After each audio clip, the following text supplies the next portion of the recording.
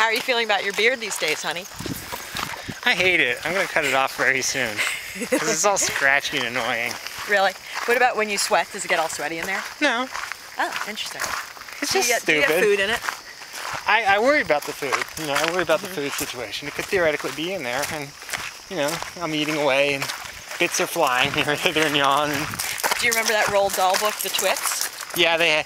Yeah, what was that? That he could like Where Mr. fish. He could fish more food out of his beard later There's like a hunt- little little sardine fin. There's a, you can see a close up of his beard. Mhm. The um, the amazing illustrations by Quentin Blake. Mhm. And there's like a little sardine tail sticking out, and there's like a, a chunk of old cheese in there and stuff. Yeah, stuff. pretty nasty stuff.